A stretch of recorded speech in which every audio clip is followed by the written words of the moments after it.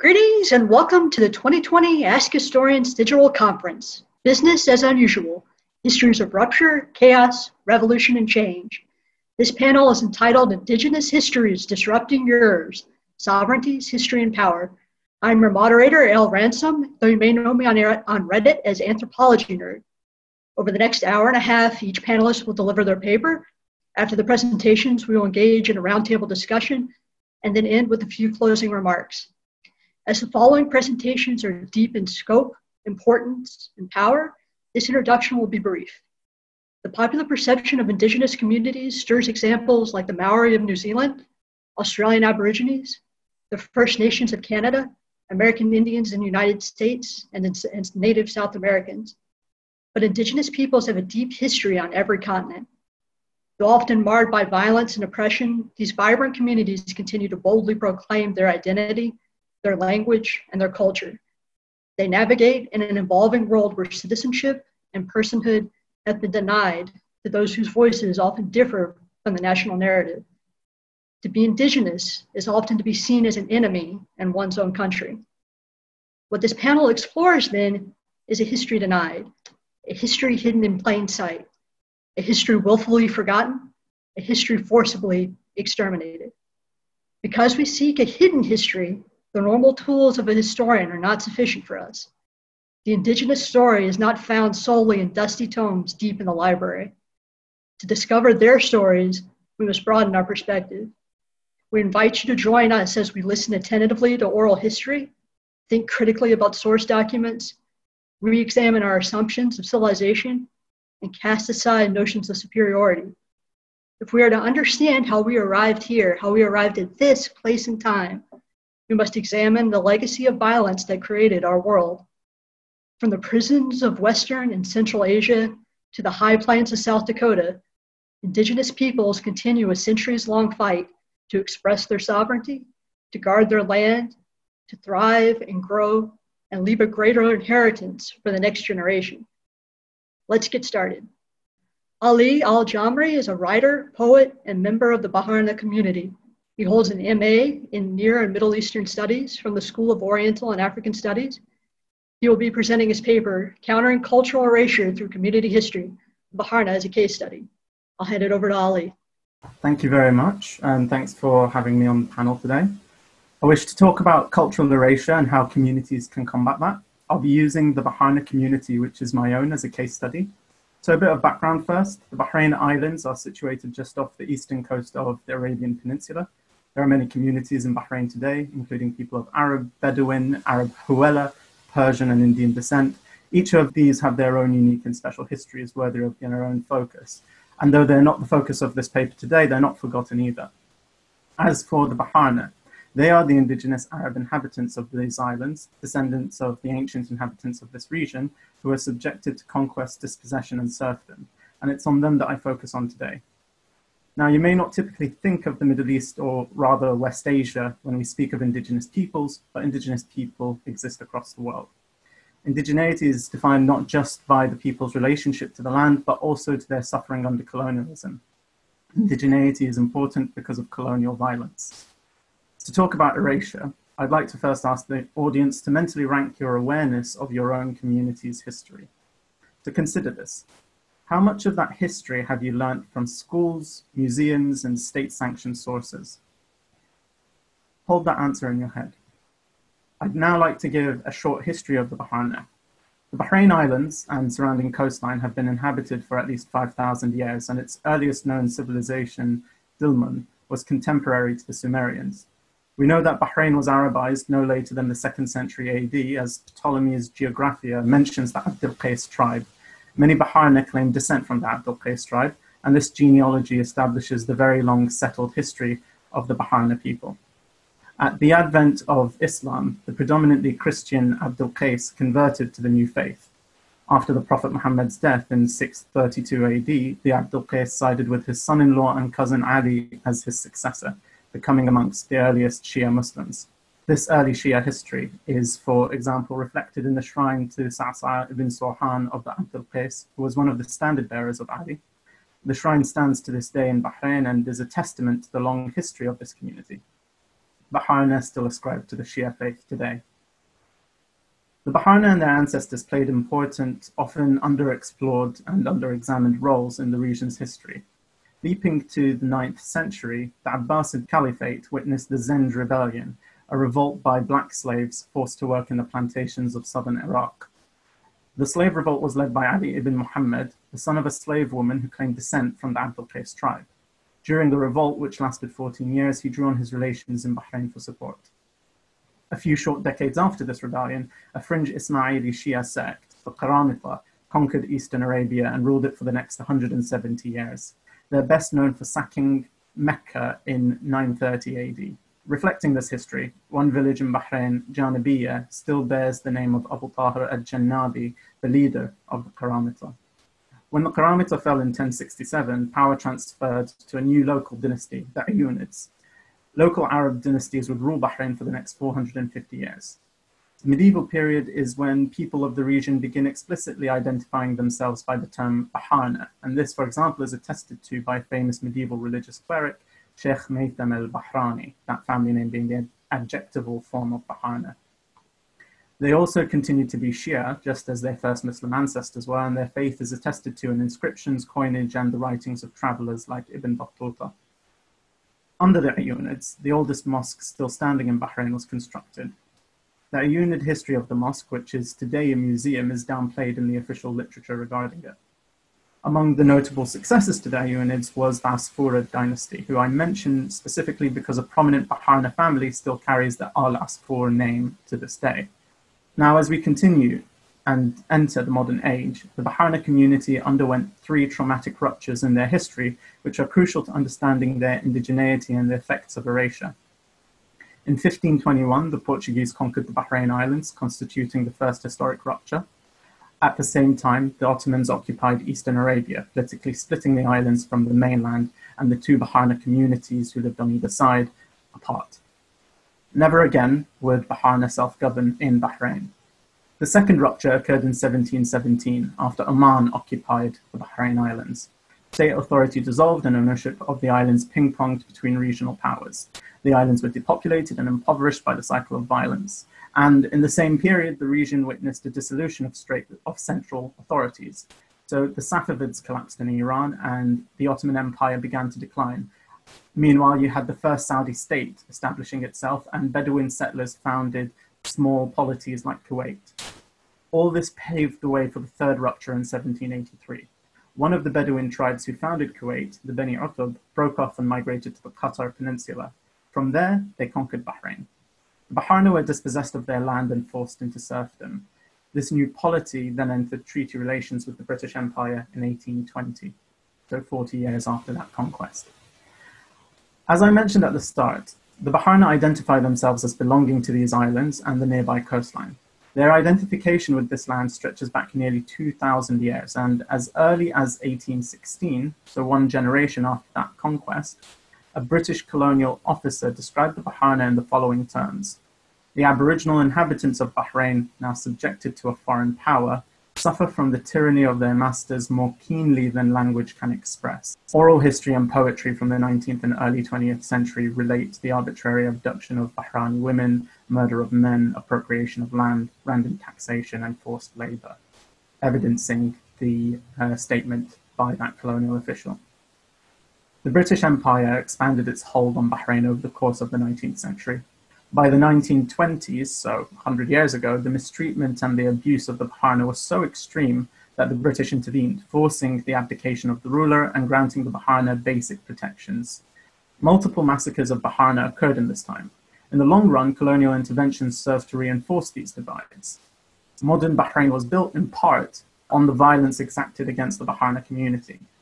So that is a very, very fast history. And having summed that up, I return to my question at the start. How much of your community's history do you know from official sources? Because of the history I have summarized, the answer would be none of it. The ties to the Abdul Qais, the distinctly Shia historical periods, particularly the medieval ones, the local dynasties whose descendants still live on the islands today, this is passed on only through Baharna oral and community history. If gaining knowledge about yourself and your history is an adventure you have to personally journey on, if it requires you to constantly question your received knowledge, if you find that the most important voices lie in sidelined oral histories, then your community has likely been subjected to erasure. Erasure is not accidental. It is a consequence of violence your community has been subjected to. The long Baharna history cannot be studied without acknowledging the violence exacted on this community. As long as it goes unacknowledged, erasure will continue. So how is the community trying to combat erasure? I now want to provide a few examples. Baharna history is everywhere on the islands. We have oral histories, poetry, textual records, and physical artifacts to back up the claim of a continuous and historic relationship to the islands. Instagram, which is the social media of choice in Bahrain, has become the unlikely home of countless local history accounts, with one for virtually every village and community in the Gulf. These accounts reach thousands. They record dialects, disappearing villages, and historical figures. They highlight the Abdul Qais history and genealogies of the oldest Baharna families. Diaspora academics have also been crucial, as they are able to author texts which may be controversial at home and distribute them through social media. Volunteer archivists are hard at work to digitize their records passed through families, with finds of records dating back over 500 years. In this context, the internet has been democratizing and a safe space. Activists and historians are careful in the subjects they choose and the language they employ, but with each post, they counter centuries of erasure. This has opened the door to further community engagement. Community activists are working on projects to capture the disappearing dialects and oral histories and visualizing them on maps. Collecting and translating 19th century poems orally transmitted to my grandparents' generation has been a project of my own. Community activists are now also looking at ways to empower young academics in order to shift the conversation in Western academia. Baharna are confident in our own history and indigeneity, but it is not enough for ourselves to know our history. Orientalism and racism is still rife in the study of Arab peoples and the people of West Asia, and Western academic hegemony contributes to this erasure. We're working hard to undo such damage. A key takeaway, then, is that erasure is practiced not against an individual, but against entire communities, and therefore only community efforts can overcome it. Thank you. Thanks, Ali. Next up is Wayne Buchanan, he is a cultural researcher at the Muckleshoot Cultural Division and holds an Associate of Arts from Centralia College and a Bachelor of Arts from Evergreen State College. He will be presenting his paper, Rupture and Resilience, the Muckleshoot People. Hatslahe, Wayne Titsta Muckleshoot Opstead, uh, 12 Ched Squatsopsh. Uh, my name is Wayne Buchanan. I'm enrolled in the Muckleshoot Indian tribe and I come from the Boise Creek people. Um, so just a little note, um, this history is public knowledge. It's not sanctioned history from my tribe or, or the preservation department or committee. So just wanted to preface that. Uh, the Muckleshoot Indian tribe is a small federally recognized tribe in southern Puget Sound nearing Auburn and Enumclaw, Washington. We are Wachusett Southern Wachusett dialect speaking peoples who have called Washington state our home for the past 10,000 years. Our name of Muckleshoot, Buckleshoot, and Whole Seed derives from that of a place called Muckleshoot Prairie where our reservation was established. Because of our tribe's complex nature, we are included within the Treaty of Medicine Creek and that of the Treaty of Point Elliott, being one of the few dual treaty tribes in the United States. For the past 10,000 years, Muckleshoot people have been living in villages throughout the Green and White River watershed drainages and into the Salish Sea, known as the Puget Sound, nearing what we would call today Seattle. We subsisted first through salmon, then predatory and passive mammals, both sea and land, birds, greens, roots, fruits, nuts, and shellfish. We spoke Sahaptin, Chinook jargon at times, our primary language of Whulshootseed, and eventually English. Our political governing body was made up of Ceab families. We practiced polygamy and exogamy, which created vast kinship networks for trade and access to hunting and fishing grounds. Gifting was and is a staple of our culture, which would determine one's social standing and was used for various events such as potlatches and naming, death of loved ones, and much more. Our collective identities as Coast Salish peoples are rooted in our connection to the salmon, and we can be defined as salmon people. We have held ceremonies since time immemorial, honoring and thanking the salmon for their generosity and kindness and welcoming them home. Our rivers provided an abundant amount of salmon which we smoked and stored for the winter season. We have always been welcoming and generous people, which we portrayed at the first settler site. Our first rupture was the Donation Land Claim Act of 1850. It ushered upwards of 8,000 settlers into unceded Indian territory, entitling each settler claims to our land at 640 acres apiece. Then Governor Stephen Isaac Stevens pushed treaties quickly for this purpose. As a result of the DLCA, a settler named William Brannan staked a homestead claim just downstream of our biggest village of Ilalco, where he could have corked off our salmon runs. Stevens appointed chiefs amongst our people to rep- represent as treaty signers, disregarding our current social life's politics to pursue treaties that would open up more lands to settlers. At Muckleshoot, we have a saying It's your lie, you can tell it any way you want. With this in mind, it is essential to note that the lie papers called the Treaty of Medicine Creek and the Treaty of Point Elliott originally had no land set aside for my Muckleshoot people, and the signing of them was a declaration of war against us. Additionally, the treaty gave unfavorable land that would lead to genocide to the Puyallup, Nisqually, and Squaxin peoples, totaling 1,200 acres for their respective tribes. Stevens was a West Point Academy trained engineer and surveyor.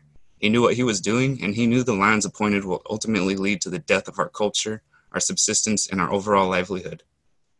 With tensions ever increasing due to the inadequacies of Stevens' treaties and that of hostile invading settlers, our Muckleshoot people sought to remove illegal squatters off of our land. On October 28, 1855, an event Euro Americans call the White River Massacre occurred, wherein nine settlers were killed, among them Brannan and family. Before this, they were warned to leave. Brannan ignored it. The White River Massacre is not to be conflated with real massacres, like one that would take place against the Nisqually Mashel people later on. It was, in fact, a removal of trespassers, which could be also be attributed as an uprising. The Treaty of Point Elliott was not ratified until 1859. Those settlers, only those who were not good people, were trespassers, and our removal was well within our rights, which we operated by, which is similar to the stand your ground and castle doctrine laws in today's U.S. courts. This removal was the first act in a series of battles known as the Puget Sound Indian Wars, or as we Muckleshoots call it, the First Treaty War. To renegotiate the treaty's terms and make our message heard, our relatives answered the call to arms due to the blood ties and close kinship. Instead of submitting to internment camps, our people, primarily Nisqually, Puyallup, Yakima, and my Muckleshoot people, rallied together to defend our homeland from invaders. After the intense battles from both my relatives and the United States militia, we entered a peace treaty during our stay east of the Cascades and eventually renegotiated at Fox Island Treaty Council. Perhaps this is one of the few wars against the United States government where land was regained through military resistance. The sacrifices of the warriors of the First Treaty War returned 25,000 acres to our people. 17,000 of those acres restored the land to the Puyallup people, 4,000 to the Nisqually, and my Muckleshoot people reclaimed 4,000 acres as well. We went to war for the sole purpose of retaining our homelands, and our sacrifices were well served. Though the establishment of our reservation in 1857 would be the first in a long line of limiting our sovereignty. Despite our victory of the First Treaty War, federal and local Indian policy throughout the years got the best of us and ultimately led to our community land dwindling to half an acre with a community center burned down by teenagers from neighboring cities our people suffered from poverty, where it was said to have been amongst the most impoverished tribes in the states. Additionally, the state of Washington passed laws that limited the tribe's right to fish for salmon. It would have been easy to live off the land as we always have, yet we had no right to fish, to fish despite the treaties and Article 6 of the U.S. Constitution. Moreover, many years before, blowing up a side of a mountain to dam our rich waters prevented flooding in the Auburn Valley, virtually destroying our salmon population in the White River and it permanently changed its flow from north to south. Because of this and tensions from 1900 to the 60s and 70s, an event transpired that we call the Second Treaty War, also known as the Fish Wars. Once again, we had to fight for what is ours through direct military action and the courts. Oddly enough, it was the descendants of the First Treaty warriors who participated in the Second Treaty War, confirming our status as warriors. Throughout the 60s and 70s, Muckleshoot held treaty treks and protests through canoeing and fish-ins and collectively with our Puyallup and Nisqually relatives and all Coast Salish peoples participating in the Second Treaty War, the Boldt decision happened. Judge Boldt reaffirmed the treaties of tribal nations as set forth by Article 6 of the U.S. Constitution and entitled 50% all of all harvests to tribes, and allowed Indians to fish in their usual and accustomed grounds. Together with Judge Boldt and President Nixon championing Indian rights, ultimately changing federal Indian policy from that of Indian determination from Indian termination to self determination. Indian rights protesters and Indians from all nations ushered in a new era for my Muckleshoot people. Since the resurgence of ancient religious practices in the 1970s, canoe culture revitalization in 1989, opening the Muckleshoot Casino in April of 1995, the quest for reclaiming our ways as well as the robust economy we enjoyed before the invasion and occupation is in part due to warriors within and outside of the tribe. Muckleshoot is a historically rich tribe connected by ties of blood and marriage with the Puyallup, Nisqually, Snoqualmie, Wenatchee, Kittitas, Palouse, Nooksack, Yakima, and even as far as the Saulteaux Indians in Ontario, Toronto. The land that is now Auburn, Washington was traditionally called Elalco, the biggest Muckleshoot village, with the United States government turned into settler homesteads and eventually named it Slaughtertown, and then changing it to Auburn. Muckleshoot people have lived in their Aboriginal homeland for thousands of years. Strengthened by intermarriage for strategic and resource advantage, our migration from Longhouse Village to the reservation to individual allotments has all taken place within a few miles radii. We have always been here. Reclaiming our land base was chief among the tribe's goals when it became clear that our economy would recover through gaming. The tribe now owns more than 25 times the land base of its original reservation. Hi, that was great, Wayne. Thank you. Next up is Kyle Pittman. Kyle is a Nez Perce and Yakima descendant. He's a graduate student at George Mason University studying digital public humanities, as well as a moderator for Ask Historians. He'll be presenting his paper, Inherent Sovereignty Disruptions to Indigenous Nationhood. Tuts Lahain, Ian Whitney-Kissa, Kyle Pittman, Ian Nimipu. Good day. My name is Kyle Pittman, and I am a descendant of the Nez Perce and Yakima peoples. I grew up on the Puyallup Indian Reservation in Tacoma, Washington, but my family comes from our reservation in Idaho. I tell you this because proper introductions are important for many indigenous peoples. They serve to lay the groundwork for building all kinds of relationships, familial, social, or political. These kinds of in-depth descriptions of who we are and where we come from are key examples of the ways in which indigenous peoples conduct ourselves and have conducted ourselves for generations. Today, I want to focus on a particular area where customs such as this are implemented. This area concerns our existence as sovereign entities. Indigenous peoples have been historically marginalized and continue to face daily oppression from the modern nation states birthed out of centuries of racism, colonialism, and paternalism. From the forests of Brazil to the halls of the Supreme Court of the United States, the preservation of our being on all fronts is under constant threat. To defend ourselves, we need to take advantage of the systems we've been introduced to and exercise our inherited will of survival bequeathed by our ancestors who sought to secure a future for their descendants. It is said among our communities that our ancestors were thinking not just about the next generation or the generation after that, but that they considered how to act in the interest of the next seven generations, a tenet that continues to guide us as those descendants. One of these considerations is the implementation of the concept of sovereignty. Indigenous peoples today encounter many struggles arising from either the challenging or erosion of the sovereignty our nations possess.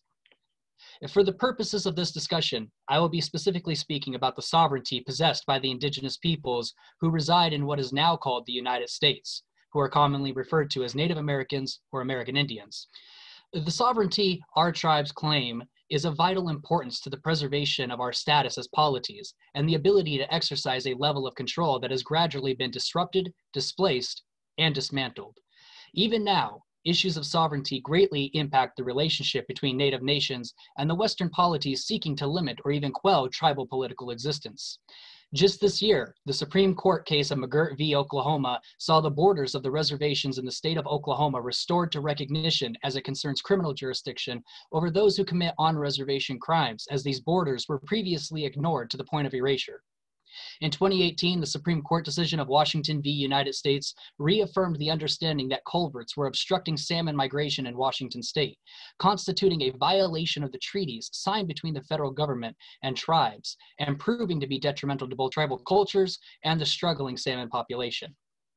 And in 2016, the struggle over the construction of the Dakota Access Pipeline in North Dakota on the unceded traditional lands near the Standing Rock Sioux Reservation demonstrated more than ever the need to assert our sovereignty after the pipeline was relocated from Bismarck to right outside the reservation, a move based on health and environmental concerns for the city of Bismarck. But in order to understand how these challenges have come about and why Native nations are regularly acting to defend the sovereignty, we must examine the historical precedents for the claims to sovereignty.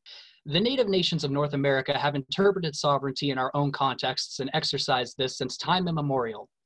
Barring a lengthy discussion on how to accurately define the term sovereignty, classifying it as a political status that entails a measure of jurisdictional power over a specific territory allows us to identify this quality in the historical record, and the manifestation of this jurisdictional power can be seen in the abiding by of customs of indigenous nations.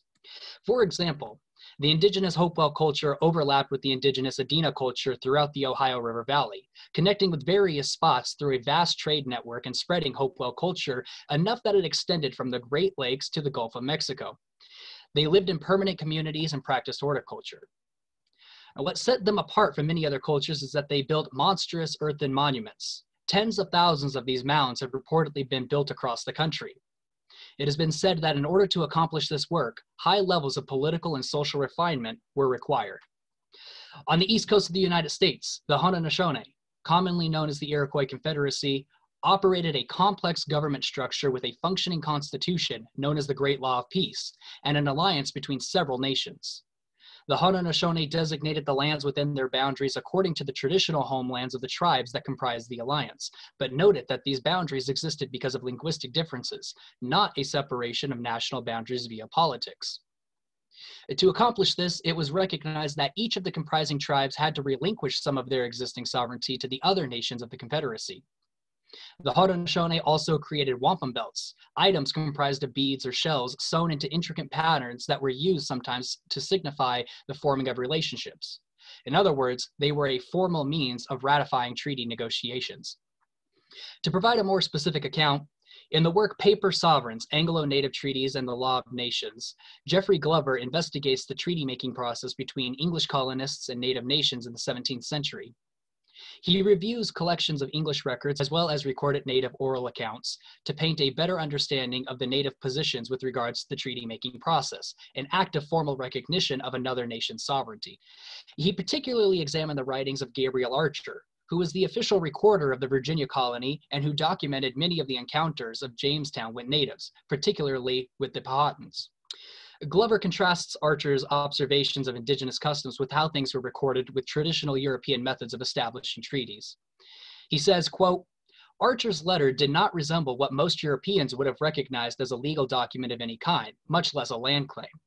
There were none of the Latin formulas so familiar in European treaties, no lists of witnesses, no signatures, not even the X marks found in treaties between the English crown and illiterate Irish clansmen.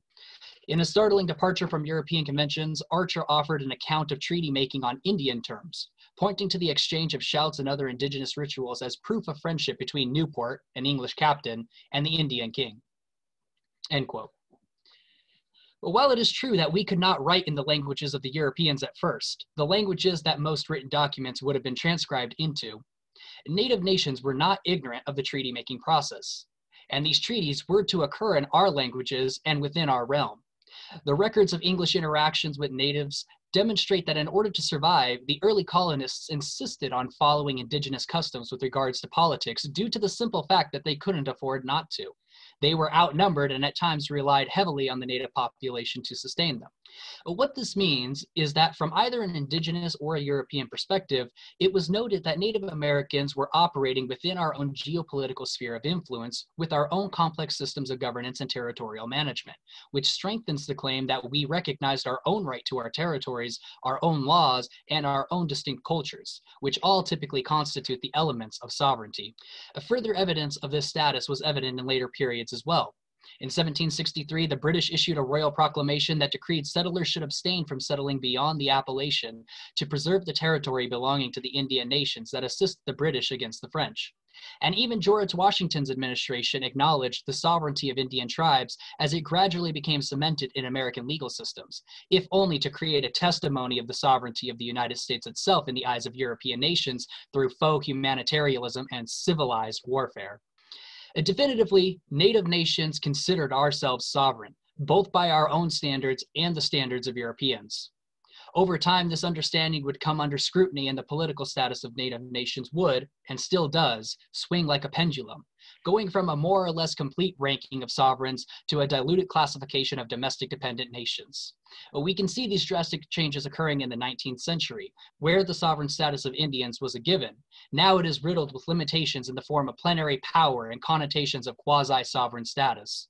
As demonstrated, Native nations historically operated with similar characteristics of European nations, even garnering the recognition from these supposedly superior polities. Yet as colonization and westward expansion progressed into full-blown imperialism, the United States sought to diminish this status, attempting to disrupt the long-standing existence of native nations. The Marshall Trilogy of Supreme Court cases enshrined the doctrine of discovery into the American legal tradition, resulting in the loss of land titles for American Indians. The General Allotment Act of 1887 dissolved communal land holdings of tribes and sold off so-called surplus lands. The Indian Citizenship Act of 1924 forced American citizenship on all American Indians. The 1934 Indian Reorganization Act shoehorned tribal governments into an Americanized format. The passing of Public Law 280 in 1953 ushered in an era of political termination and forced relocations to urban centers and the criminalization of American Indian religious practices until 1978 and a lack of protection for our burial grounds until 1990 all constitute the marginalization and suppression of sovereignty spoken at the outset of this paper. It is for these reasons that I speak about Indigenous sovereignty. Bringing these disruptions to light and casting them against the unequivocal historical reality of our inherited sovereign status buttresses the importance of continuing the fight to preserve our right to self determination. The existence of indigenous peoples as polities is not contingent upon the whims of colonial institutions or the allowance by hegemonic power structures or the descendants of invading colonizers. As demonstrated today, our existence as polities is rooted in historical fact. And as long as we continue to practice our ways of being, our sovereignty will not be disrupted permanently. Thank you, Kyle. That was that was great. Next up, we have Miguel Rivas Fernandez. He is a third year history and French student at Manhattanville College. Originally, he is from the Dominican Republic. He'll be presenting his paper, Remembering Malinche, the evolving role of language in the events and the memory of the early Spanish conquest. Thank you very much. My name is Miguel Rivas Fernandez, and today I will be talking about language, its role in the early Spanish conquest of Mesoamerica, and how its use has evolved throughout time, as well as influenced our perceptions of these events and the image of their main characters. When Hernan Cortes and his party of Spanish conquistadores met the Aztecs and their ruler Moctezuma, the Old World collided with the New World. The conversation between both men has generated much scholarship from historians who attempt to decipher the true meaning of their exchange. Being unable to communicate directly, the two men relied upon the translation of a native Nahua woman named Doña Marina, also known as La Malinche who became Cortez's interpreter as he traveled to the Aztec capital of Tenochtitlan. As would be expected, nuances were lost in translation, and Moctezuma's speech was not fully understood by the Spanish nor accurately recorded by chroniclers. Misconceptions about what he said have arisen, both from Spanish and Nahua sources, reflecting the influence that language, as well as its use and misuse, can have on how events are perceived. Marina's role as interpreter, as well as the conversations between Moctezuma and Cortez and the accounts of the encounter written by both Spaniards and Nahuas, all show the central role that language played in the early conquest, and also show the influence that language has had on the historical record and memory of the events ever since. A discussion on language and communication during the early conquest must start with the woman who facilitated it. Doña Marina was a Nahua woman of noble descent whom at a young age was sold into slavery to Maya people in the Yucatan region. Eventually, she came to be in the possession of Hernan Cortes, given to him along with 19 other women after the Spanish defeated the Tabascans. Moving from a Nahua region to a Maya region enabled Marina to speak both languages, and she was able to communicate with the Spanish through Jeronimo de Aguilar, another explorer who had been stranded in Yucatan years prior. Highlighting her importance, chronicler Bernal Diaz del Castillo makes it a point to tell Marina's story before narrating the meeting at Tenochtitlan, saying, quote, Without the help of Doña Marina, we could not have understood the language of New Spain and Mexico. End quote. Later accounts, such as the Lienzo de Tlaxcala illustrated codex made with the help of natives, also emphasize Marina's role and presence, always depicting her centrally located between Cortes and the natives showing that both the Spanish and the natives viewed her as central to the narrative of the conquest. Doña Marina's central role in the conquest has earned her a mixed reputation in the historical memory. In her essay Rethinking Malinche, Frances Karttunen explains how early historical recollections of Marina were positive, regarding her highly for helping defeat opposition to Cortes, bringing Christianity to the natives, and being mother to Martin Cortes, who is considered the first mestizo. Karttunen makes the argument that a negative view of Marina became prominent as Mexico gained its independence in 1821, as she became a scapegoat for centuries of Spanish colonial rule. She became portrayed as a traitor to her race, as having aided the conquest in exchange for sexual favors from Cortes and in being the mother of mestizos, but this time not in the positive light of being the mother of Cortes's child, but in the negative light of undesired racial mixing. This association shows part of the complicated relationship that Mexicans have had both toward their mixed heritage and their past. In blaming Marina, Mexicans gained both an easy explanation for the events that happened and a way of, at least subconsciously, rationalizing their racial attitudes toward their heritage. As accounts from Marina's own point of view do not exist, it is impossible to know her true motivations. It is worth noting, however, that she was given to Cortes as a slave, so there is a possibility that a slave master relationship has been understated in the historical memory. Despite this, it's clear that Marina both played a central role in the conquest and has featured heavily in the historical memory of the events ever since. Marina's role is perhaps most important when analyzing the conversation between Cortes and Moctezuma. Interesting differences can be seen in the portrayal of the speech by Cortes and the Nahua accounts within the well-known Florentine Codex. The following excerpt of Cortes's account portrays Moctezuma as very deferential to the Spanish. Quote, From what you say of the great lord or king who sent you hither, we believe and are assured that he, the king of Spain, is our natural sovereign. Therefore, be assured that we will obey you and acknowledge you, for our sovereign in place of the great Lord whom you mention, and that there shall be no default or deception in our part. And you have all the power in this land, I mean, wherever my power extends, to command what is your pleasure, and it shall be done in obedience thereto. End quote. The Nahua account in the Florentine Codex differs from Cortes's, but interestingly, still retains some of the deferential tone of Moctezuma's remark. Quote, I am not just dreaming that I have seen you and have looked at your face. I have been worried for a long time, looking toward the unknown from which you have come, the mysterious place. For rulers departed, saying that you would come to your city and sit upon your throne. And now it has been fulfilled. You have returned. Go enjoy your palace, rest your body. Welcome our lords to this land. End quote. It is interesting that both the Spanish and Nahua excerpts have a deferential tone. And while it is easy to dismiss Cortes's account as trying to paint Moctezuma as giving up, analyzing the nuances of the encounter reveals a complex situation. In his book, Seven Myths of the Spanish Conquest, Matthew Restall gives two reasons. First, he argues that the system of royal patronage by the Spanish for the conquest encouraged the portrayal of an easy, rapid, and fruitful conquest, leading them to portray the natives as willingly submitting to Spanish rule as can be seen in Cortes's quoting Moctezuma as saying, quote, and you have all the power in this land, end quote. The explanation for the deferential language in the Nahua account is more complex, and again raises the central role that Doña Marina played in the encounter.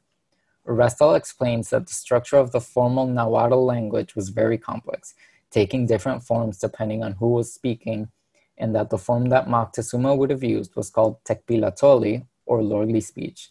Restall explains that with lordly speech, quote, to be polite and cautious, one must avoid speaking bluntly or directly, which requires saying the opposite of what one means, end quote. Thus, Moctezuma's deferential language was intended to assert his powerful status. Complicating matters even further is Doña Marina's role as translator, as although she was able to understand lordly speech thanks to her noble origins, translating into Spanish erased the nuances of Moctezuma's words. Additionally, it is important to remember that Cortes's account was written within a year of the events, while the Nahua account in the Florentine Codex was written decades later. Evidently, languages played an important role in the perception of the events surrounding the early Spanish conquest.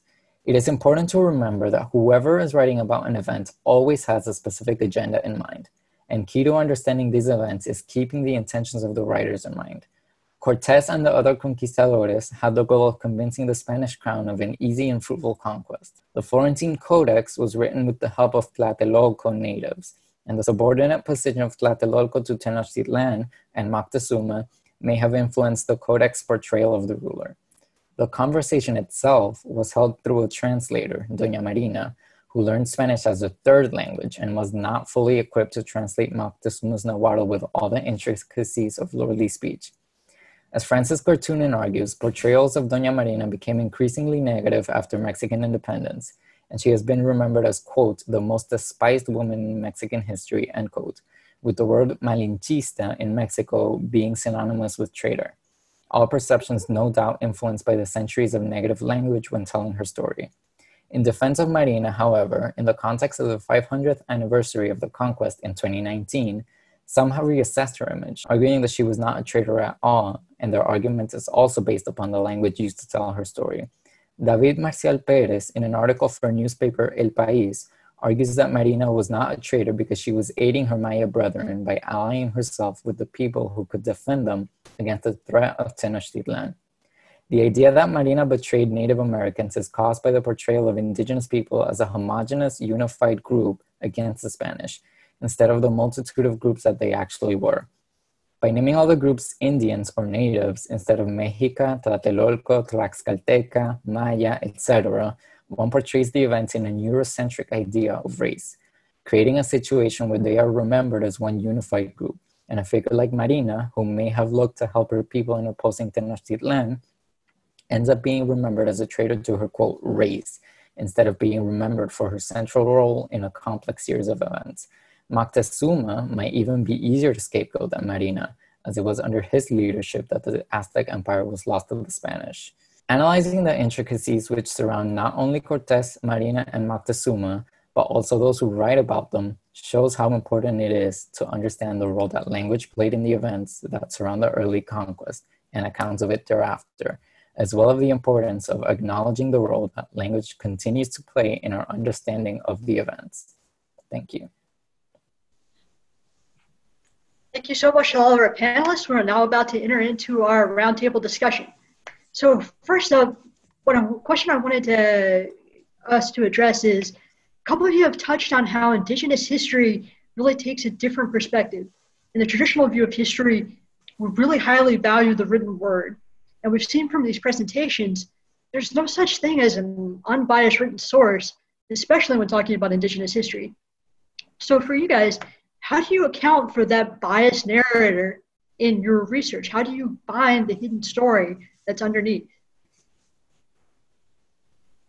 I guess uh, the way I'll tackle this first, I guess the way I do it is I try to, depending on what what the context of it is, right? I'll try to see it how the indigenous peoples would have seen it. I try to put myself in their shoes, right? And I do the same thing with uh, my own people um, you know that's how you decipher treaties right? You you view it as how the um, the treaty signers would have understood it. And so for me that's how i tackle that question. I, you know i, I take account in um, what the written word is but i also take into perspective what um, what they would have understood it as depending on the political dynamics of their own way of governing right so similar, similarly to Wayne's answer, uh, a lot of us um, grow up with these kinds of stories, these histories, the uh, the alternate or the unknown or subaltern um, narratives that aren't uh, prevalent in the mainstream. And so for us, when we go out there and we recite these narratives, we're just saying the things that we grew up with. We're telling the the truth the reality that we've heard and experienced from our families from uh, that have been handed down by our ancestors. And so uh, you know there is a struggle when we do that because sometimes it can run counter to what's uh, what the mainstream narrative is. And that's when we have to fall back on our ability to get involved in these institutions to learn the ways that we can present this information to make that effective argument so that way we can start to correct those existing narratives that are out there I think there's a big space for imagination, compassion, and maybe even a little bit of role play in uh, in terms of reading and understanding such sources. And you really have to think, you know, what's been left unsaid and maybe those who are writing or relaying the sources, what are their blind spots? Um, what do they not recognize? Uh, so, when reading colonial uh, sources, for example, this is a guy who is reporting to his boss usually uh, on, um, you know, and he wants to keep his job. So, even thinking about all the other things uh, that come with a colonial document, you are reading reports from someone to their line manager often. So how are they presenting what they're doing? Um, and when you're thinking about colonial sources, that's one thing, and the written record. But also, once passed down, you know, stories do change. Sometimes the exact fact is not the story that we receive, but there is a truth in the emotion. And sometimes we also have to, and sometimes when we can't find that original truth, we have to seek out what truth is there in the emotion of the story that is passed on. Along with what Ali was saying, I think it's very important always when reading written sources to think of who is writing this source, what their objective is, what their context is. So, for example, in the case of uh, Spanish conquistadores, these are people who are trying to justify their actions to the king of Spain. They're trying to get the money they need to continue conquering these lands. And specifically in Cortez's case, he was going against the wishes of the Spanish crown. So they're trying to justify something. And in that case, it influences this portrayal of something that happened really quickly, really easily. It's also important to uh, remember who's writing about somebody else. In the case of Doña Marina, there's not any accounts written from her own perspective. It's always other people writing about her. So it's important to remember what their objective is when they're writing about Doña Marina. Bernal Diaz says that without her help, they couldn't have done anything. But later on, after Mexican independence, she became this person who betrayed Native Americans because they wanted to find maybe a scapegoat for this Spanish colonial rule. And now that they're away from that Spanish colonial rule, they don't want to portray that as a positive thing. They want to portray it as negative. So it's always important to remember the objective of the writer in mind and their identity. That's a really good point, Miguel. Uh, I think another uh, aspect to that is also considering not just the position of the writer, right, but the position of the audience. Um, as you mentioned, you know, people might be looking for a scapegoat for whatever their reason is, but the people of today might be looking for that. And it's similar too when we're looking at these um, these narratives, these accounts, um, these sources that we as people in general look at those and kind of put our own spin on it too. And that's why we need to ha- uh, be critical when we approach these sources. Um, so for example um, I mentioned uh, how even George Washington, first president of the United States, how his administration acknowledged the sovereignty of Indian tribes at his time, uh, which might run counter to how a lot of people think um, George Washington and a lot of the founding fathers of the United States might have viewed Indians. It is true that they were very racist, that they viewed Indians as savages and inferior, but it is also true that they viewed tribes as militarily and politically powerful, um, that they weren't tribes uh, that could just be subjugated on a whim, that there was a level of respect or reverence, hesitation at the very least, to try and encroach upon um, tribal territories without the ability to sustain a war against tribes in that case. And so, bringing that back into what we're talking about, that's a, a, kind of narrative that I think is lost maybe on a lot of people who look at American history um, and could be the case with any history that they look at because they're projecting uh, their own ideas, their own preconceived notions onto those narratives, and that kind of distorts what the historical record um, actually says. What I, the theme I'm kind of getting is that for Indigenous history, you got to work a little harder, right? You gotta you gotta examine a couple different sources.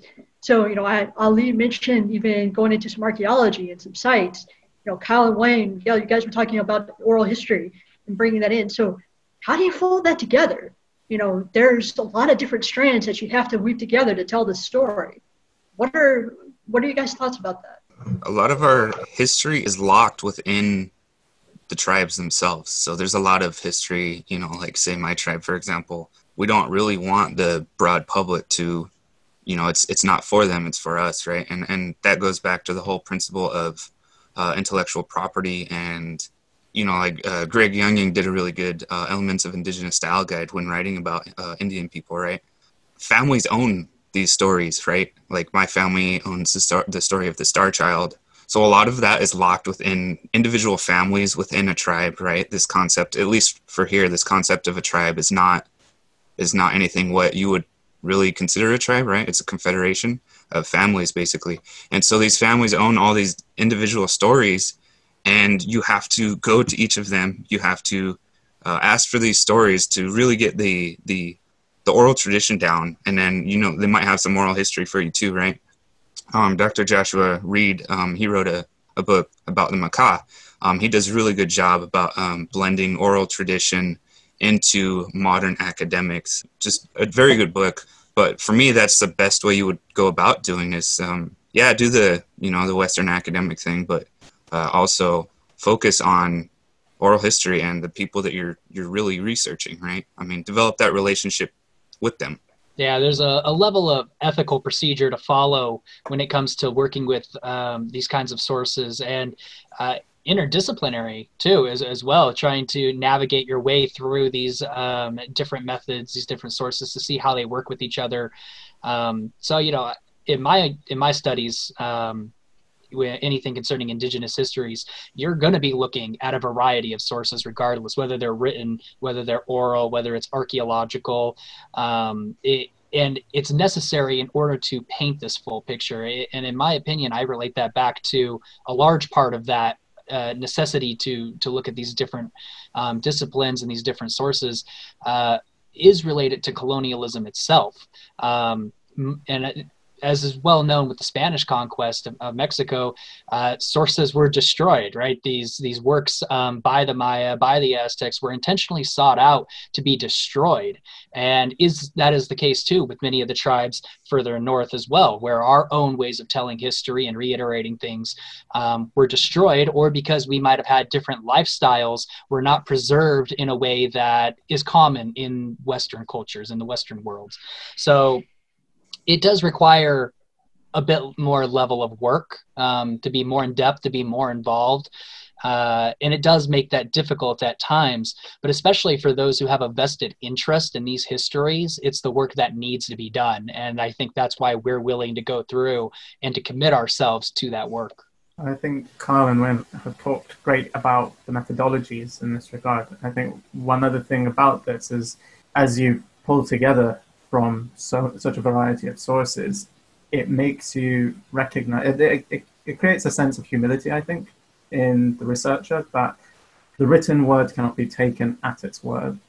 But to accept that, then that means that not everything, that every, nothing can be fully taken at its word. We are always creating a picture, a representation of that past history, and we are trying our best to understand it. But we must also recognize that we do not have the full picture, even as we smash the idea that these old written texts written by a colonizer were the full picture and were accepted as a full picture. When we break that, we have to accept that that is an incomplete picture, and what we are presenting is also, to a certain extent, an incomplete picture. And I think that that's actually um, that that's not a position of weakness. I think that's a position of strength, and it's a position of like maturity towards the work. I think what Ali is saying about there not being like a complete picture ever is important because there's always going to be multiple sides to any story. And I think that's one of the things about studying history that one, add difficulty to it, but also to make it very interesting because you can always find different ways to portray a story, to piece together a story. And it's always worth keeping in mind that there's always going to be a different perspective on that while you study it. So you're never going to reach a level of perfection with the story you're trying to understand or trying to tell. And that I think is also important to remember when trying to put together these stories. So a lot of you are teachers, right? Or you have students, or even we're reaching out through Ask Historians to teach. How do you teach somebody that's coming from a very probably, you know, uniform Western mindset what tips and tricks do you advise for them to say, okay, you got to look a little deeper now, right? You can't just read that one source. So, how do you help them? How do you get them along going on that process? Yes, uh, it depends what we're teaching, right? So, um, I do a lot of, you know, teaching about my culture and um, our history and everything. um, one of the one of my favorite things to do, at least with regards to um, the Second Treaty War, the Fish Wars here, I like to bring people from you know you know this Western mindset who may or may not be allies, but they're genuine genuinely curious. I bring them to these fishing forums where it shows the overt racism from these fishers here in Washington State and showing how what they don't know about our tribe. They think they know, but it's wrong in every aspect, even in Western academics, right? So I, I show them the nuances of of the the other side, right? And then I show them how what we are, right? Um, you know, you can't really define my tribe, right? But you can show a different aspect of our life compared to what you would see on the internet. The internet is not a good source to learn about my tribe to begin with, but I use it as an example to show the differences. And that shows, you know, um, with students that I've had, that shows, oh wow, these these people really don't really understand what my tribe is. They think that we're we were never really a tribe, right? And then, I mean, we're federally recognized, so I mean, obviously. yeah, it's a it's a precarious situation at times. Um, you know, speaking for myself, I, I love to teach other people. I love to talk about um, these histories, talk about my interests, and provide that education, especially when, if we're talking about the general public, um, a lot of it's unknown or there's um, inaccuracies or outright lies to to contend with. But it does get uh, emotionally um, exhausting. It, it's laborious work, um, especially when you're in a situation where you might be one of the few people who has access to uh, this information or who's spent the time to study this information to try and bring it out to others. Um, and, you know, it, it does create uh, times where you don't really want to. You know, as was said previously, there's a vested interest uh, for indigenous peoples to talk about these things, um, to right the wrongs um, that have been co- uh, committed in history. Uh, and so I think, you know, for myself, I seek out opportunities to do so, whether that's getting involved um, in institutions of higher education, whether that's getting involved on Reddit to address these uh, misconceptions.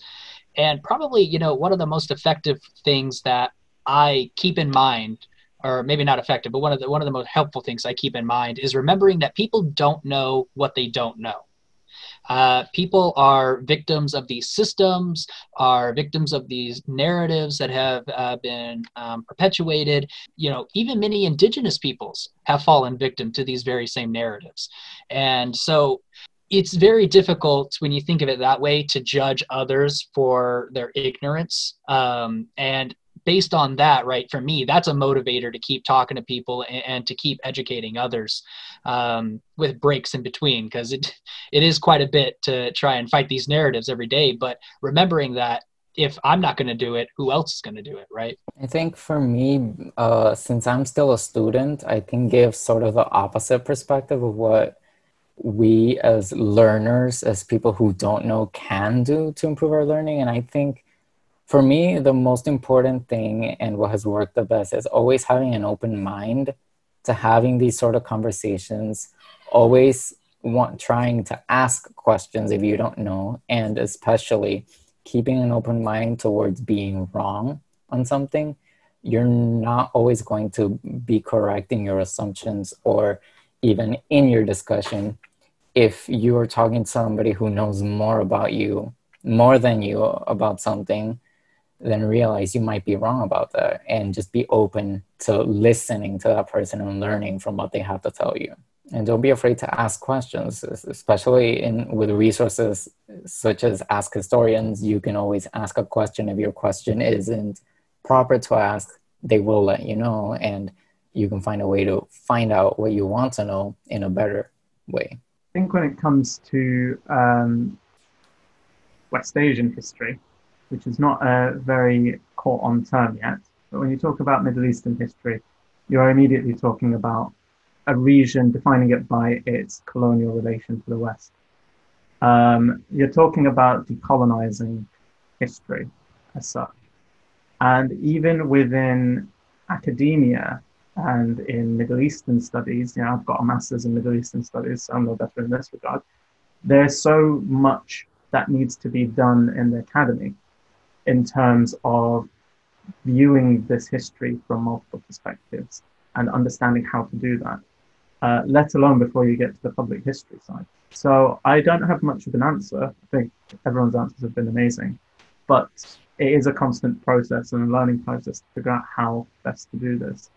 And not all, and different disciplines of history can certainly learn from each other as well, because I think, at least in the Middle Eastern departments, we're probably a little bit behind in this. And I think that's a uh, hear, hearing your response to Ali and, and Miguel. That reminds me of uh, another point, is that we have to spend um, time not just talking about content or trying to talk about these narratives and relay this information to other people. But what's really helpful too is if we can have a discussion with someone about how to understand history, how to interpret sources, how to um, uh, apply the historical thinking process and the historical method to learning about the past. It's interesting. Uh, there seems to be a, a popular notion, I, I feel like, at least for me when I was growing up, that history is boring and you don't want to get into history. And now, you know, as, as you get older too, and you, you hear people who do talk about history, there's a lot of, uh, about a popular conception of how history is understood in general where it's comprised of just facts right? You if you know facts about history you know history or you're learning history um, which isn't the case. Uh, i'm sure all of us can attest to that too. When you're studying history you need to be able to understand that it's an interpretive work that history isn't a set in stone thing in the sense that a happened, then B happened, then C happened, and that's the story. Uh, rather, as we've been talking about, people, the people who we talk about in history, these characters or, or actors um, in these narratives, a story, right, are their own persons, have, are in their own contexts, are uh, beset with all the kinds of influences and biases and opinions that we ourselves have today. And that having a conversation with someone to discuss that very thing goes a long way in helping them to understand when we introduce different narratives that they might not be accustomed to, to helping them understand that there are different approaches to learning and doing history. And I think that really helps leave the door open for greater discussion as well, um, particularly for us when we start talking about Indigenous histories that has suffered from being historically marginalized and suppressed and outright destroyed one of the key themes that kind of went through a lot of your discussions was avoid the homogeneity of the people that you're talking about, right? Like, mm-hmm. don't just lump everyone together. I don't know if anyone would like to speak to that a little bit more now that we're playing around with some of the themes as a effective tool almost in countering that idea of there's one story. I can uh, bring in an example from my paper of lumping people together in in how uh, people have written about the conquest of uh, Mesoamerica. Usually they mention it's the natives versus the Spanish or the Aztecs versus the Spanish. And that removes a lot of the agency that many of these uh, Native American groups had within that story.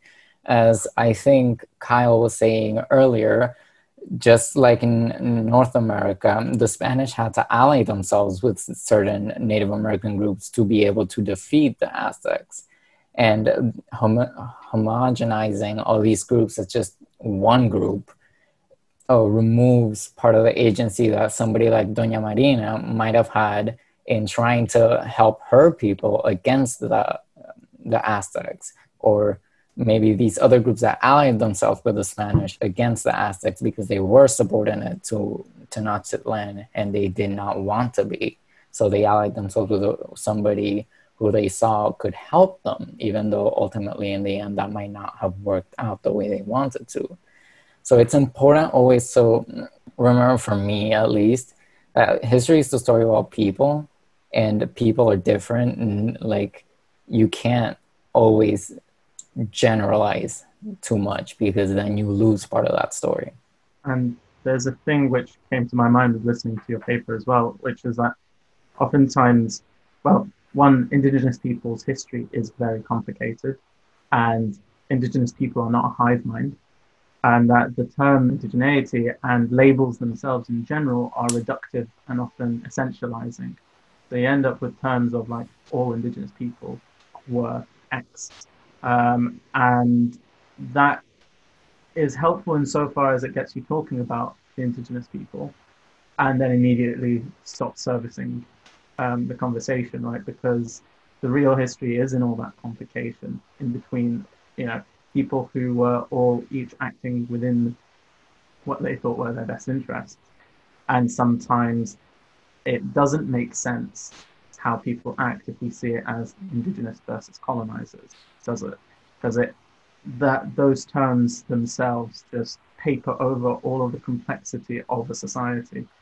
Um, so even when talking about it, we need to kind of remember um, all of those um, conflicting voices and also the voices that we don't hear. So uh, one thing that's very powerful uh, about uh, your paper as well with Doña Marina is uh, we don't hear uh, women's voices from themselves. They don't speak for themselves, unfortunately. Their, their voices have been lost. So we get a very male perspective on that history as well. Yeah, I think there's a lot that can be, that needs to be unpicked from those labels. Yeah, the uh, homogenizing is, is something that happens. I on all levels. Even, even we're talking about history, or if we're even talking about today, I mean, that that happens very regularly with Indigenous peoples, uh, just in general social conversation, um, and it it truly is unhelpful. Um, and I, yeah, I feel like there might be some who think that if we're talking about the the uh, distinctions between Indigenous peoples and talking about their agency in history, that um, right. It, it's opening it up to, to discussions of even more competitiveness, right? Because as, as, has been talked about as well, there's this idea that it's the natives versus the colonizers. And if it's like, oh, well, actually it was the colonizers and some of the natives versus this group of natives and those natives, right? It's setting it up for a, a more uh, framing it as a, as a competition or or something else reductive like that. Um, rather, it should be framed as as Miguel is saying, it's a history of people um, talking about how everybody has their own influences, has their own uh, ways that they push for things. Um, and this is true even on an individual level, um, where you know, we, there are tribes today, the uh, the Crow tribe, for example, right, who are known for lending a lot of their uh, people to Custer to be his scouts, um, and that might fly counter to this idea that Plains Indians in general um, were all fighting against Custer and the colonizers. Um, so it creates this distortion in history and sets it up to make it more competitive i think too so even when we're talking about the distinctions between indigenous peoples really we need to focus on that nuance and take the time to explain you know what was this group uh, talking about? What was their agenda? What was this group talking about? What was their agenda? And that does make it more uh, laborious. It makes more work for us when we start talking about these histories. But it is important especially when we're trying to give that accurate representation of what's happened in the past. Right, you guys make a lot of good points, and to Ali and, and your point, for example, here in the PNW, um, people have this idea where it, in Indian history in general, right? It's it's us versus them, it's colonizers versus Indians, you know, cowboys and Indians. It doesn't. People take things face value. I mean, you see that in social justice movements and all, virtually all across the board, right? In the same way here with cowboys and Indians and, and uh, colonizers versus Indians, it rejects, it ignores the nuances of the history for example, you know, the Hudson Bay Company, you know, all across the board, it was a common practice to take Indian wives to get access to trade and everything. And through this, relationships were developed, you know, it's where hybrid Indians came into play and everything, right? In our own Muckleshoot history, we, we lived in peace with uh, settlers. It wasn't until the Donation Land Claim Act came that it ushered too many settlers at too fast of a time period. So that's why the hostilities happened. But when you generalize everybody you're just ignoring all the nuances that happens that people just don't want to learn about or they just don't even know about. And, and um, you know I, I, think it should also be said too because I think we here understand this, right? But considering um, those who might not be familiar with our audience, right, this isn't a, a justification, of course, for colonization or a, a justification for atrocities that happened um, because indigenous actors in the past might have um, sided with colonizers, right, so to speak.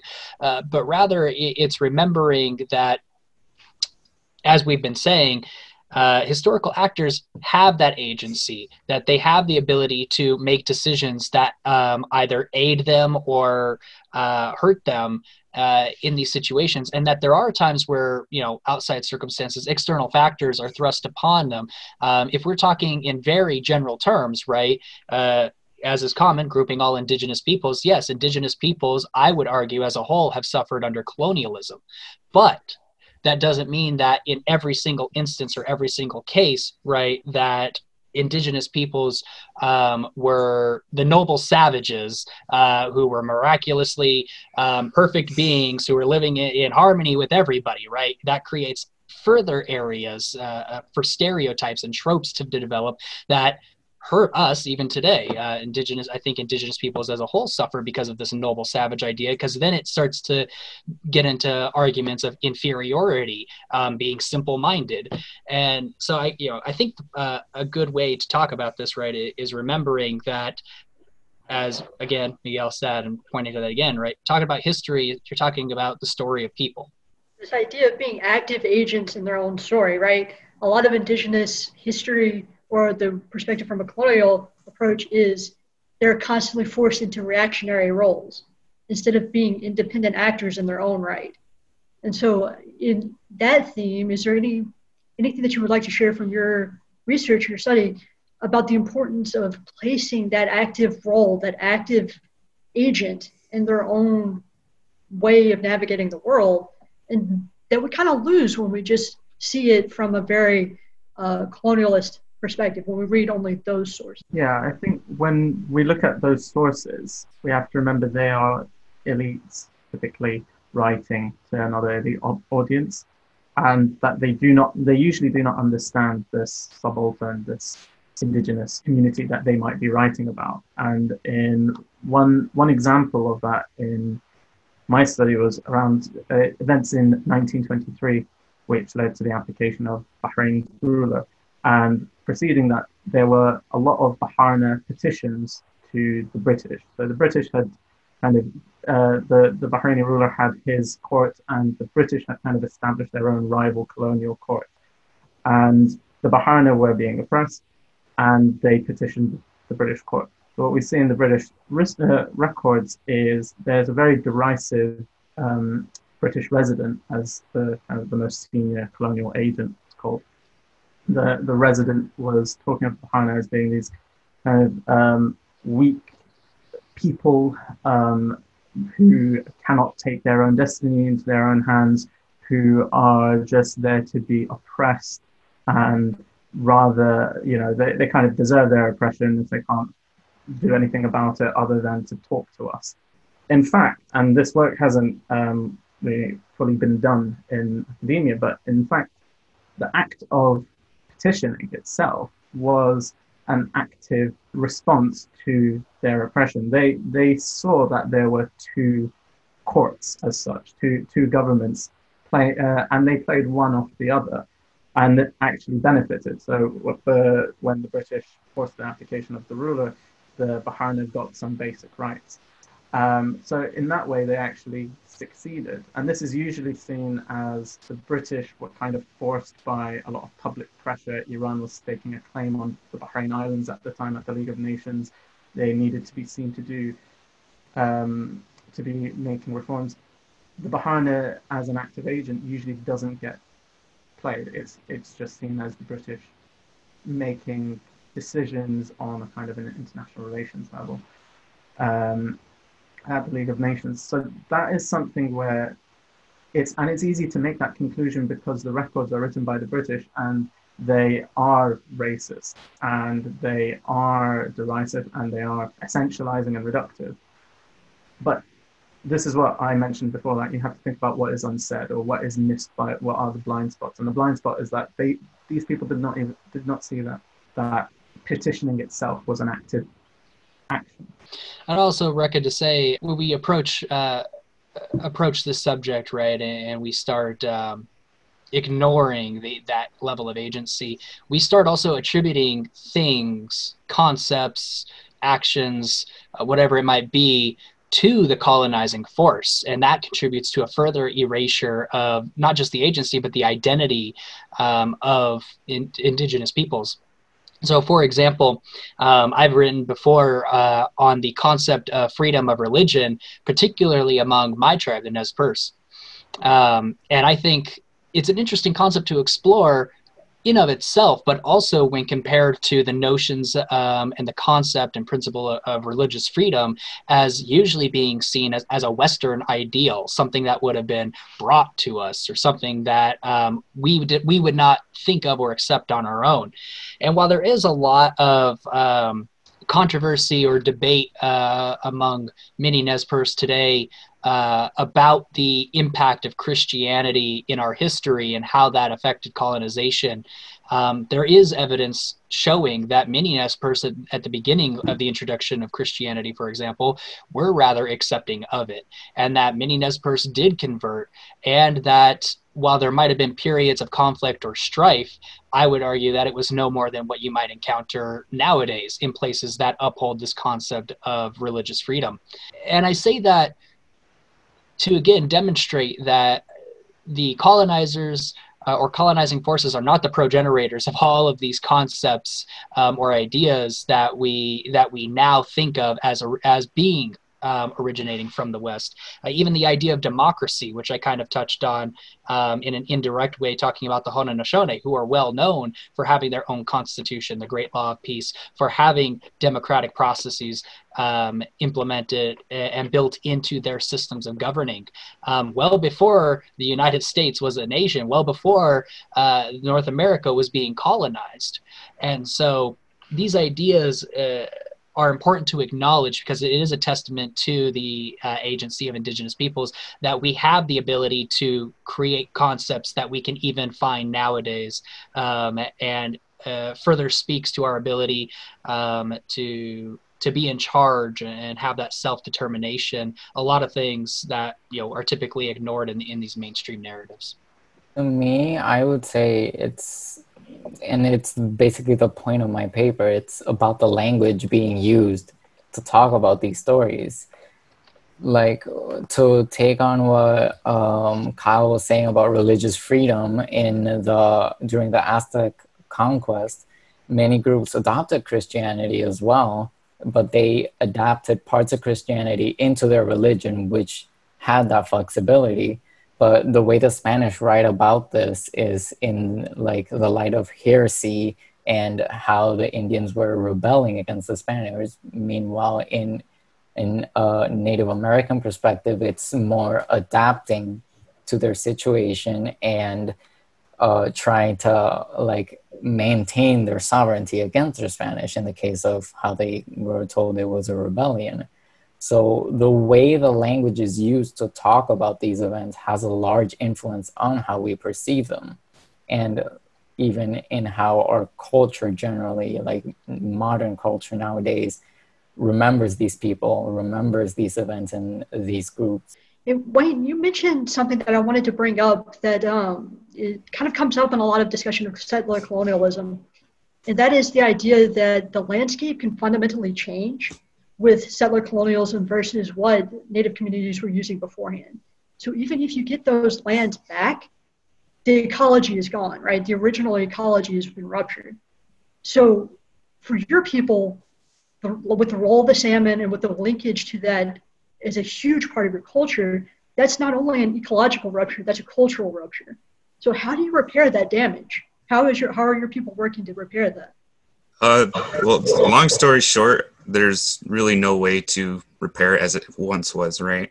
Uh, and with regards to blowing up the side of a mountain, you know, Mud Mountain Dam, uh, unless we go up and blow the dams, which we should, but there's really no way because I guess the best we can do is resist, and we do that right now with uh, fish hatcheries. You know, it takes sixty thousand dollars to raise one single salmon, and that's how much we're invested. We're primarily, you know, uh, Northwest Indian Fishing Commission with all the tribes here in Washington State are uh, the biggest factors in salmon still being here. You know, because of these canning industries back in the early 1900s and late 1800s. You know, virtually just all, all the factors, right? Dams and everything.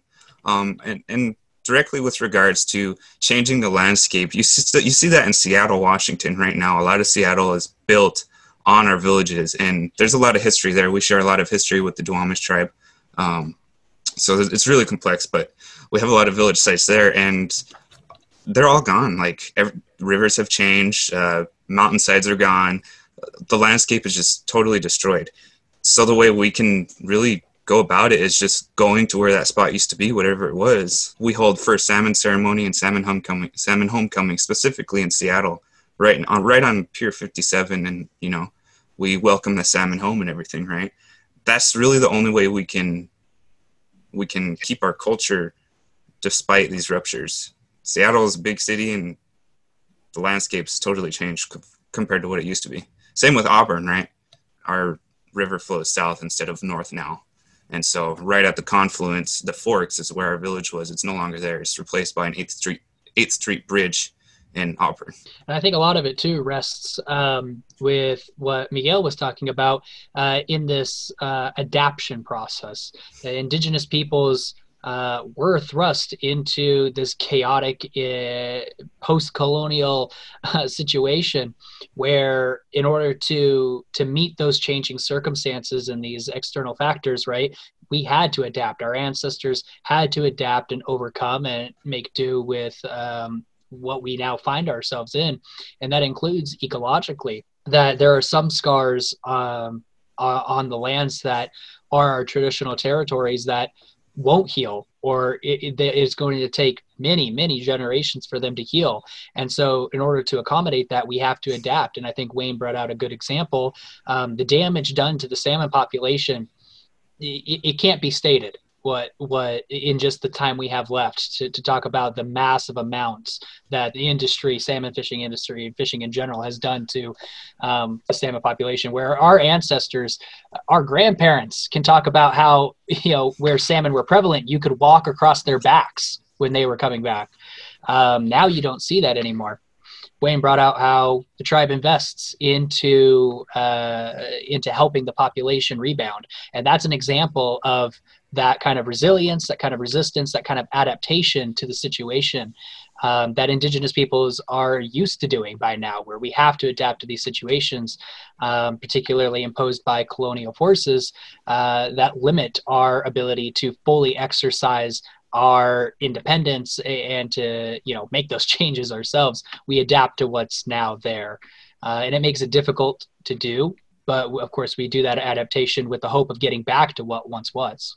I think it's also important to contribute to cultural and historical institutions that try to keep these stories and these memories alive.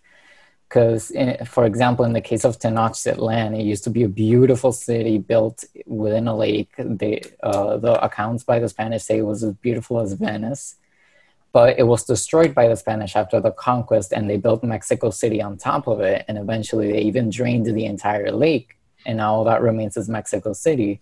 But there are institutions, there's museums and libraries within Mexico City that try to keep this memory alive. And it's good and important to always contribute to these institutions as well as the people who study these stories and try to keep them alive. Ali, this gets back to something that's really important for your community, right? Yeah, I think in um, Bahrain as well, the kind of the environmental and ecological damage um, in the island is immense. It's been desertified over about two generations. Um, spring water that used to flow freely from underwater springs has all dried up.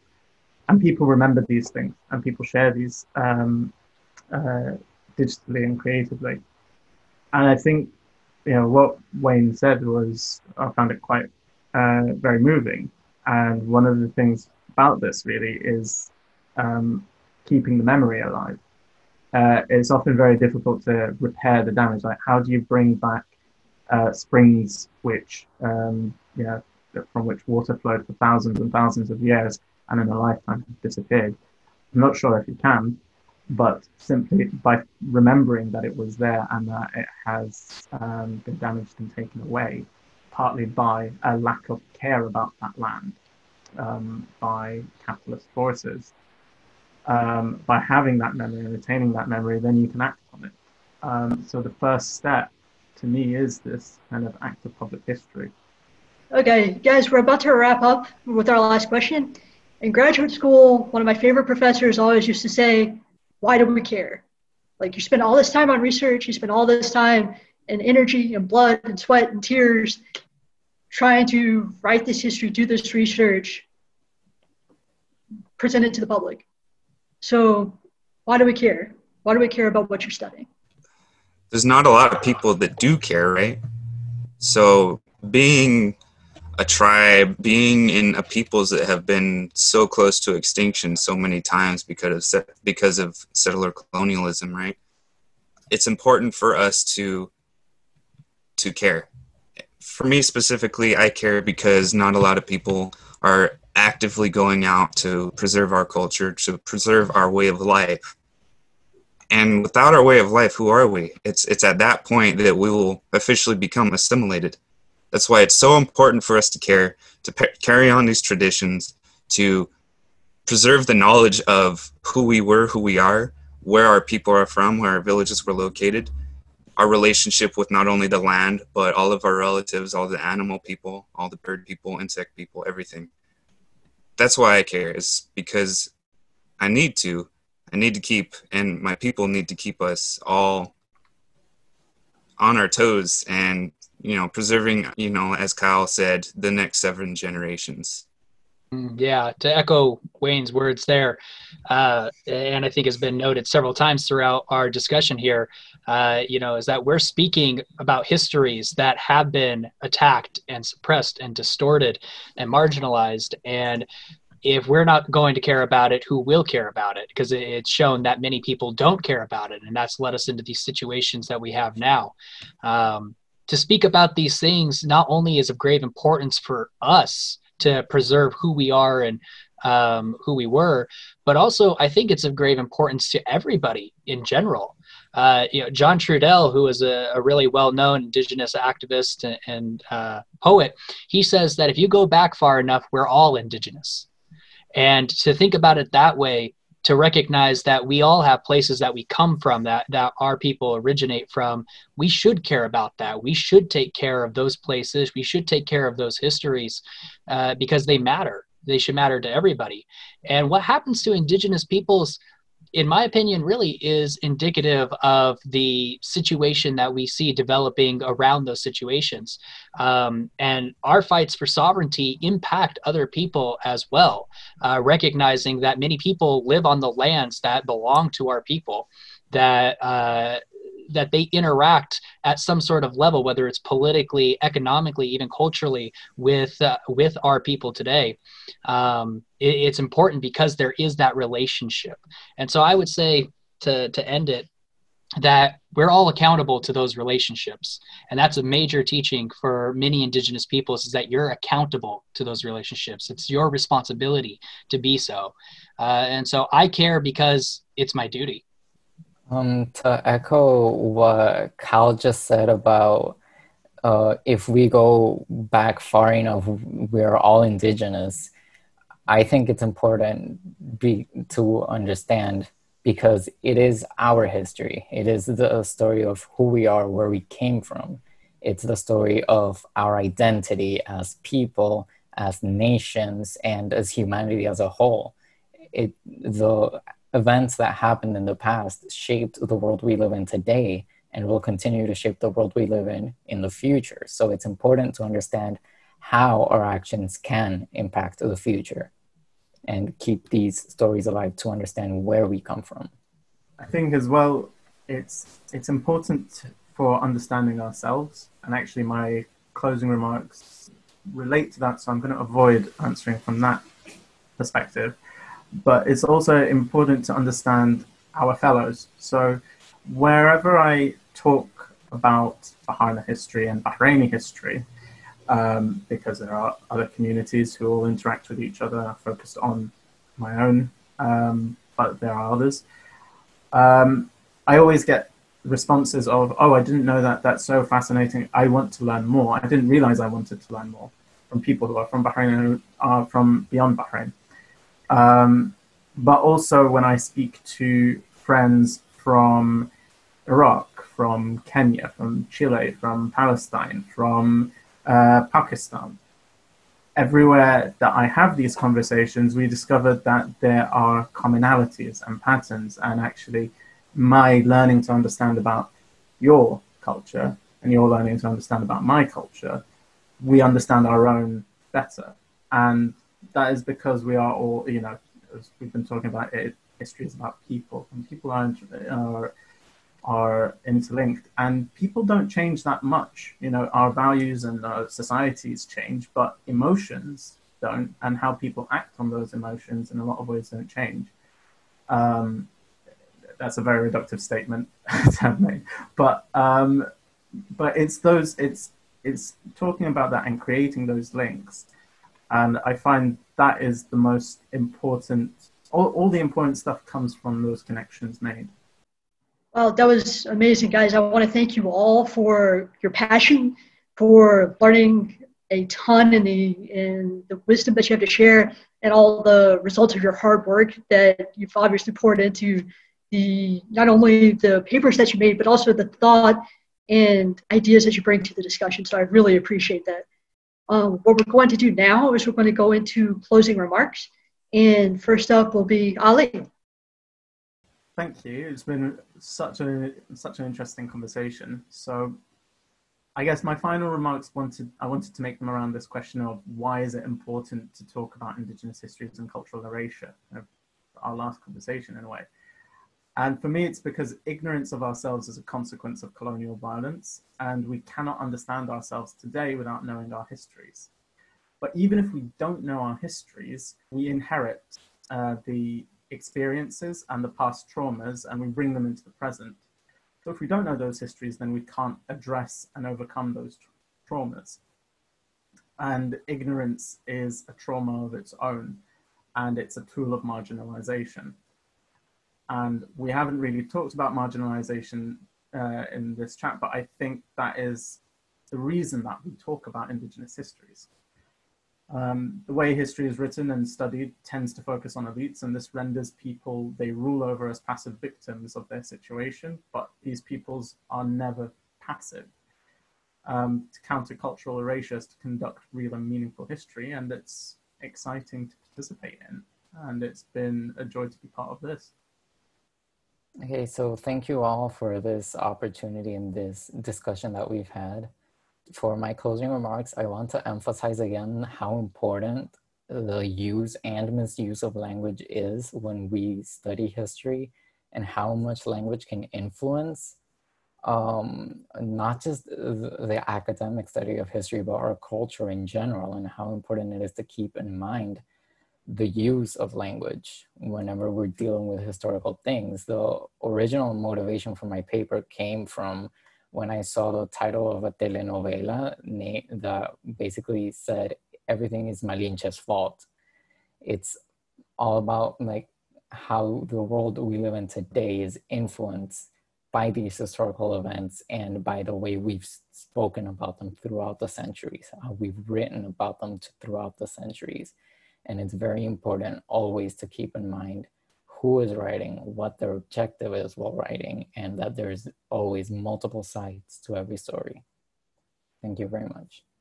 Uh, I'd like to say thank you, Katsuyao, in the name uh, in the word of my people, um, for this chance that we've gotten to have here to discuss these things. They're very important topics, subjects that we've discussed here today uh, that matter not just for us, but I believe for everybody.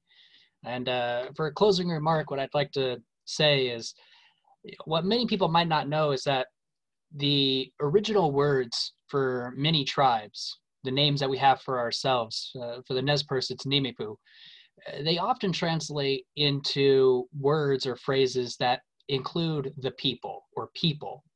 Uh, and I think that's an important thing to talk about because when talking about indigenous histories, far too often are we dehumanized uh, in the process of marginalization, in the process of colonialism, uh, through genocidal actions, indigenous peoples often suffer from that dehumanization. And so I'd just like to leave off on a final remark to have everybody remember that indigenous peoples are people. And when you learn about our histories and you learn about who we are and our identities, we communicate that to you. So when I tell you that I'm Nimipu, I'm telling you that I'm a person, that I come from the people. Indian people often say that our past is our future. And I see this reflect in today's panel with Miguel, with Ali, with Kyle. It's also said that our relationship with the past and the future, Indian people are a bridge between that for many, many aspects of life. So I, I with my closing remark, I got nothing to say other than, uh, hey Shaba, Ali, hey Shaba, Miguel, hey Shaba, Kyle, and Al, Hisco and my audience, Howard Tubes Jalap. Thank you very much. Thank you all so much. As the presentations and ensuing discussion highlighted, issues of sovereignty, identity, resilience, and power reverberate through the history of indigenous nations. The narratives we use matter. These are not solely academic debates. For example, narratives of the disappearing Indian and susceptibility to virgin soil epidemics explained away centuries of violence in North America and excused an absence of investment in the public health infrastructure of indigenous communities. If the narrative everyone knows is indigenous peoples are doomed to die, why invest in helping them live? Currently in the United States, we are reaping the fruit of this mindset. American Indians are three times more likely to contract COVID 19, five times more likely to require hospitalization, and one and a half times more likely to die from the novel coronavirus than their white neighbors. Native Americans, like other minorities in the United States, were not born more vulnerable to COVID 19. They were made more vulnerable by a structurally violent world we all inherited. It is up to us to decide how we change that inheritance. In your country, Indigenous peoples are fighting to protest pipelines, to break dams, to guard sacred spaces, and to free those in prison for practicing their own religion, speaking their own language, and telling their own story. It is my hope and the hope of each of us on this panel that you leave here today enraptured by a new way to look at history. We hope you're armed with a deeper understanding of how to find and how to listen to the indigenous stories of your homeland. We hope you join with us as the fight for sovereignty and survival continues in the face of a deadly pandemic and the astonishing potential of an increasingly connected digital world. For Ali, Wayne, Kyle, and Miguel, thank you so much for taking this journey with us.